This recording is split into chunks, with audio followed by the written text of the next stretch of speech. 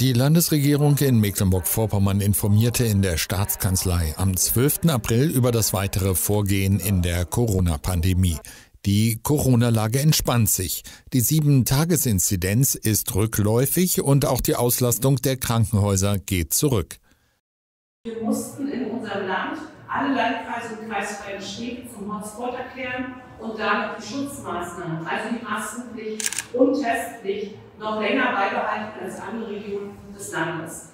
Es war die richtige Entscheidung, wie wir sehen, geht es jetzt runter und in die richtige Richtung. Und deshalb haben wir uns schon letzte Woche entschieden, jetzt Schritt für Schritt Lockerungsmaßnahmen zu machen. Ab Gründonnerstag fällt die 3G-Regel in Cafés, Restaurants und Gaststätten. Neben der Gastronomie fällt diese Regel auch im gesamten Kultur- und Freizeitbereich, beim Sport und bei körpernahen Dienstleistungen sowie beim Besuch von Messen und Veranstaltungen. Dort gelten zukünftig nur die Maskenpflicht und Abstandsregeln. Optional können diese wegfallen, wenn auf der jeweiligen Veranstaltung die 2G-Plus-Regelung beachtet wird. Beim Tourismus bleibt die 3G-Regel allerdings vorerst bestehen, so auch die 2G-Plus-Regelung in Diskotheken und Clubs.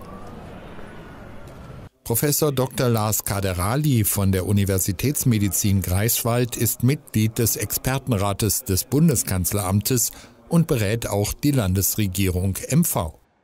Ich habe heute Morgen empfohlen, dennoch das Maskentragen beizubehalten wie gesagt, die 7-Tage-Inzidenz liegt bei 1345. Das heißt, es ist immer noch ein sehr hohes Infektionsgeschehen. Und auch wenn es rückläufig ist, macht es durchaus noch Sinn, sich vor der Infektion zu schützen. Und äh, über die Osterfeiertage würde ich deshalb auch empfehlen, weiterhin äh, mit Schnelltests bei privaten Treffen sich abzusichern. Die Maskenpflicht bleibt weiterhin bestehen. Die Hotspot-Regelung in den Landkreisen und kreisfreien Städten läuft am 27. April aus. Sollte sich die Corona-Lage weiterhin gut entwickeln, wird die Regel endgültig verabschiedet.